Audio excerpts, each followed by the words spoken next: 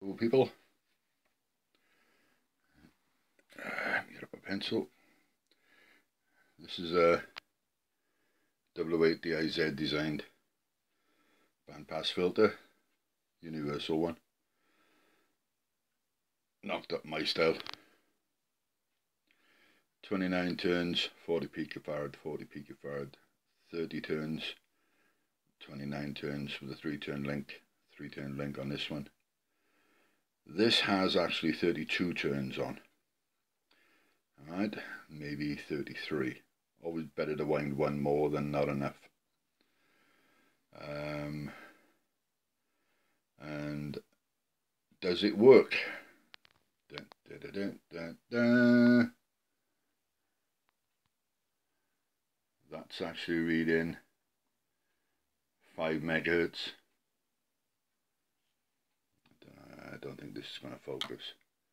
But there's 5 megahertz here reading.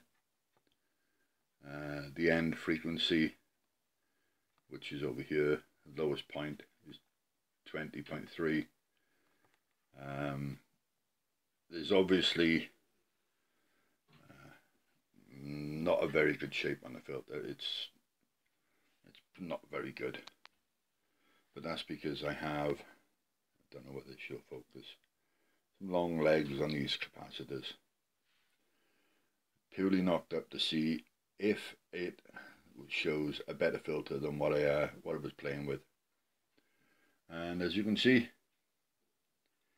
it shows a nice peak by here.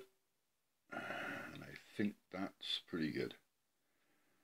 Um, I have switched this with my MFJ and it is peaking minimum SWR around 40 uh, ohms impedance around 5 megs. So this unit is actually pretty good. There you go. I think that is a definite winner. Bye